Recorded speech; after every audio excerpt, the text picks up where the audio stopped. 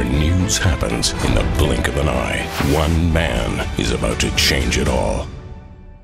Well, that's a bit much, isn't it? We're not changing the news. We're trying to find new ways to tell it. We want people to be part of a much bigger conversation. We have amazing people and tools to show you things you haven't seen. We're going to give you fresh insight from untapped sources so you know more. Kevin Newman Live, weeknights at 9, 6 Pacific on CTV News Channel. You got it. Thanks, Kevin.